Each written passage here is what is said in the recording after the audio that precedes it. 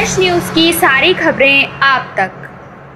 पूर्वी दिल्ली के we V three S mall के पास नए साल के अवसर पर सुरक्षा व्यवस्था का जायजा लिया और किए चलान। तस्वीर आप देख सकते हैं कि पूर्वी दिल्ली जिला के Nirman Vihar metro station V V three S mall के पास की है, जहाँ पर पृथ्वीहार थाने के एसएचओ कम एसीपी हीरालाल अपने पुलिस टीम के साथ पहुँचे। साथ में ट्रैफ़िक पुलिस कर्मी भी थे।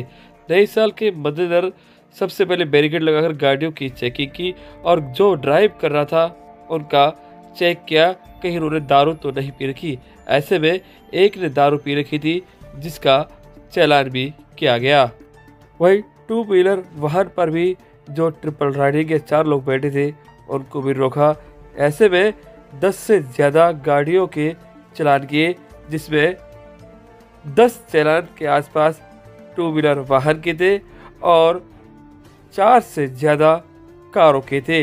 इनमें से चार चलान जो कार के थे, उन्होंने शराब पी रखी थी, इसलिए उनको रोका गया और जो मोटरसाइकिल और स्कूटी सवार थे, वह बिना हेलमेट और ट्रिपल राइडिंग करे थे, इसलिए उनको रोककर उनके चालान भी किए गए।